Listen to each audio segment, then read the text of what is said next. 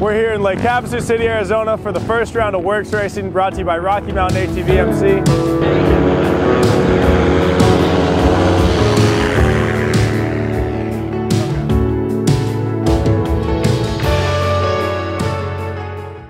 Pretty good. It's been a rough start to the year, man. I usually build new cars and I didn't get cars in time to build them. Still don't have my new cars yet. And so I usually like going out with fresh iron. I'm kind of down on, on that and, uh, you know, scrounging around for some parts. It's been tough with the COVID. There's been a shortage of everything, you know, so the dealer, I mean, not even the dealer, the manufacturers can't get the cars out and the, and the parts also. So it's been really tough, you know, especially starting at the beginning of January, you know, so just just happy to make it here and get here and be able to, you know, to compete and also be able to do something, you know, without a mask on. New year, new, uh, well, same car. I'm getting a new car built, but it's not ready yet. So uh, we're ripping the old car from last year. I'm looking forward to it. I, uh, I actually won here last year, so confidence is, uh, is good. I felt good yesterday. Um, practice went well. I'm excited to get things rolling for uh, for 21 and hopefully, you know, have a few wins this season.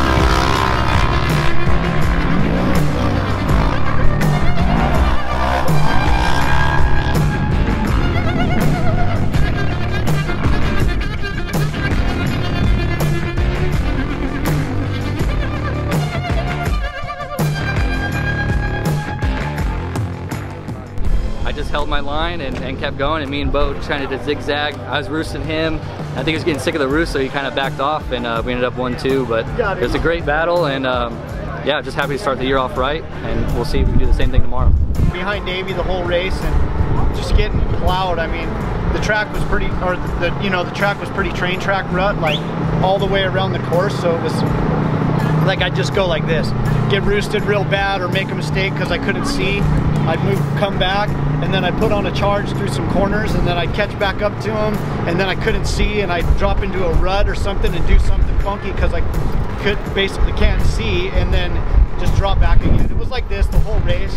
Finished right on his bumper, and you know, is what it is. Barely made to the line, got up, uh, got up into third, and just kind of cruised around. I was having issues with power steering. Uh, we, we added a new quickener this year because I thought it made me be a little bit easier with my hand controls. Um, but it kept, it was kind of underpowered, I think, and every time I hit a like really nasty G out or something, it would, it would uh, kill the power steering. So I kept having to stop, turn the car off, turn it back on, reset, reset it. Because we didn't have time to uh, get a kill or a switch to uh, relay it all or shut off switch for the power steering. And uh, yeah, just been it's been a hard time getting here. The car got wrapped on Thursday night. We got here at 3 in the morning and did a little bit of practice on Friday, but we had a lot of issues, so just glad to be on Cody at school.